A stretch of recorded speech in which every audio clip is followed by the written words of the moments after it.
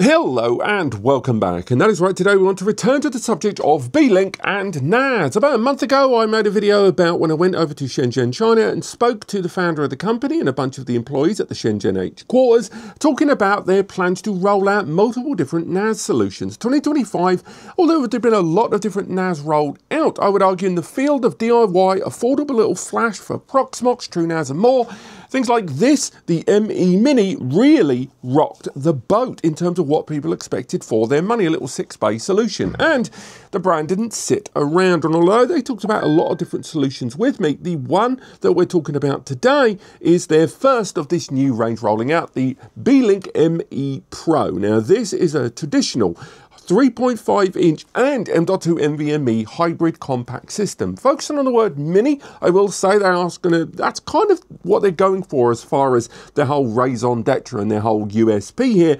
All of these NAS solutions that they're going to roll out are designed around compact nature. They're not the first to do that. A lot of NAS solutions have tried to be compact, but they've always had to deal with heat. They've had to deal with noise of fans and ultimately trying to balance power efficiency and ability versus just not overheating and throttling beyond all measure. And that was why this little 6 bay was so important. Now, this new device, the ME Pro, is going to arrive in two configurations. Uh, there's going to be a configuration that features the Intel N95 CPU and probably the more popular N150 CPU. Both quad-core Intel CPUs, but I argue the N150 is the one that people are going to be more in love with. It's the same one that was featured in that little 6-bay there. Now, the N95 version, again, they're both quad-core, 4-core, uh, 4-thread CPUs there. The N95 version is going to be the more affordable of the two. It's going to be arriving with 12 gig of low power DDR4 memory, uh, whereas the N150 version is going to arrive with 16 gig. Now, one of the things I've not had an ability, uh, had the opportunity to confirm is that how that memory is going to be applied. I know that it's going to be SODIMM on the N150 version there, because that was the version that we saw when we visited the brand, but the N95 version, I'm not 100% certain. Also, I know I've said this in other videos, but anyone else in here N95, do you think of that lovely little Nokia phone? I know I do. Also, both of these models are going to arrive with a base OS SSD included. The N95 version is going to arrive with a 512 gig SSD inside, and the uh, N150 version is going to arrive with a terabyte SSD included with the price. Now, let's talk about storage beyond that. Now, this these are both two bay solutions there. That's two SATA bays on their own hot swappable trays, although it doesn't look like they're going to be click and load. It looks like they're going to be thumb screw based on the side there, but still nonetheless it means you're going to be able to use 3.5 inch or 2.5 inch SATA drives. No word on the controller yet. Both of those CPUs have only really got nine lanes to play with, so spreading things out as we go further into these specs is going to be pretty impressive there.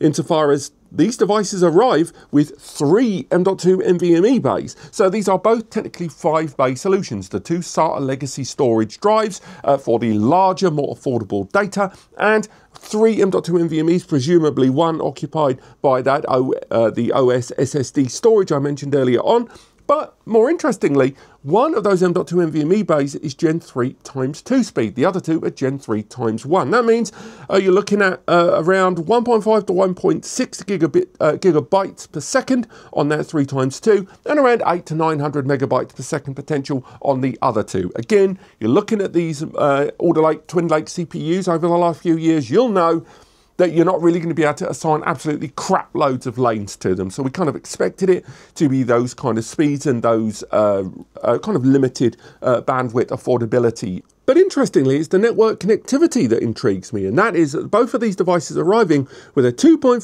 gigabit network port and a 5 gigabit network port. Now, 2025 and going into 2026, you're going to see a lot more solutions starting to roll out with 5 gig networking by default. Things like the new Asustor Gen 2 Plus series there, uh, TerraMaster went in with 5 gigabit networking there. We've seen UniFi engage with 5G more with USB adapters as well, and I'm almost certain we're going to start seeing new QNAPs and other turnkey solutions next year with 5 gig by default. What's interesting here is this is one of the earliest DIY OS-free NAS solutions where you pick your own operating system of choice, along with 5 gig out the gate. I've not seen that. I've only ever seen 2.5 gig or a premium for 10 gig. Now, I, th I, think there are going to be users that are a little disappointed at the lack of 10 gig here, especially with those uh, PCIe slots there. When you've got three of them, could easily saturate that fully. But still, nonetheless, depending on how they hit the price point, and we'll get to that later on, this could still be very attractive indeed there. Also, there is talk of a larger 4 bay version of these devices as well coming out. And I'm wondering whether they are going to streamline those PCIEs a little bit, maybe only have two, maybe up them or down them, change the CPU. We saw them already talking about uh, the uh, 255 CPU inside one of them and an AI powered device using the uh, 395 processor from AMD.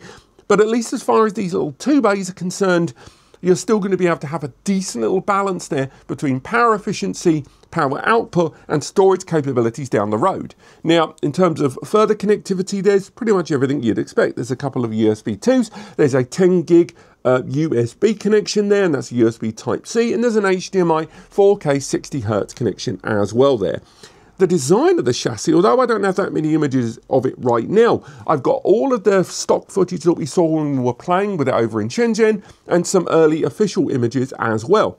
And it's utilizing that very compact chassis there, but also that really nice slide out uh, base panel there to access the Mobo to, you know, perform maintenance, troubleshooting, that sort of thing.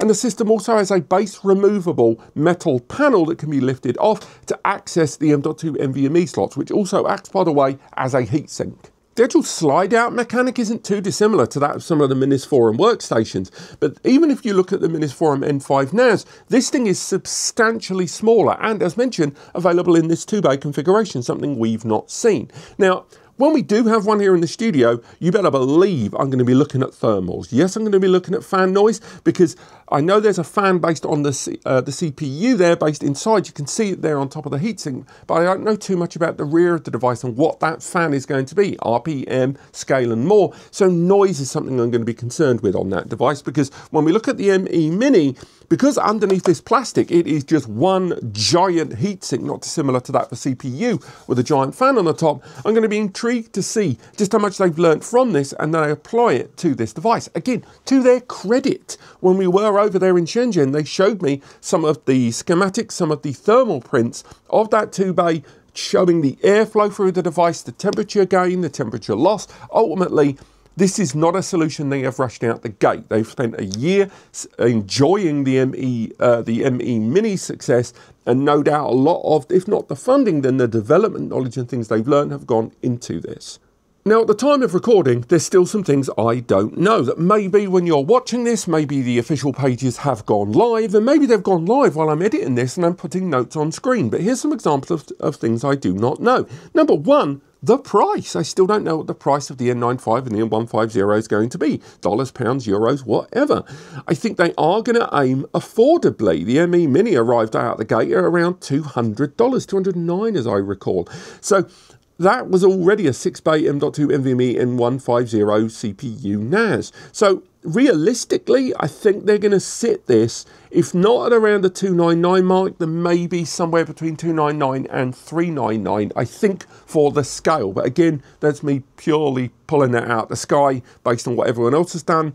And again, we still don't know the differentiation between the N95 and the N150 version, and of course, those differences in hardware architecture. The other thing I'm not sure about on this device right now is the PSU, because they were in the process of scaling up the PSU on the uh, on the ME Mini model to actually uh, change the CPU arrangement inside, but still keep that internal PSU there. I'm not sure if that's going to be the case on this system, and if they're able to block it there inside behind the main uh, mobile and CPU, they're using that micro IT, uh, ITX board inside there that's custom made. Again, maybe this has already been confirmed and on screen, I've either cut this out or I put on screen exactly what the answer is. But that's really all we know. They are aiming for release in December 2025. Now, whether that is announcement or full release availability to buy, pre-order, etc., I don't know. But that's really everything we know right now about the Beelink ME Pro. So what do you guys think? Does this sound like a great little pre-built DIY NAS solution for your needs? Or are you still in love with that previous generation 6-bay M.2? Let me know in the comments below. There'll also be an article over to NAS Compares linked in the description, which I will update as more information arrives. So if you're watching this a few days, weeks, months after this video has been published, no doubt that article below will give you more information and it's far more up to date. But apart from that, thank you so much for watching and I'll see you next time.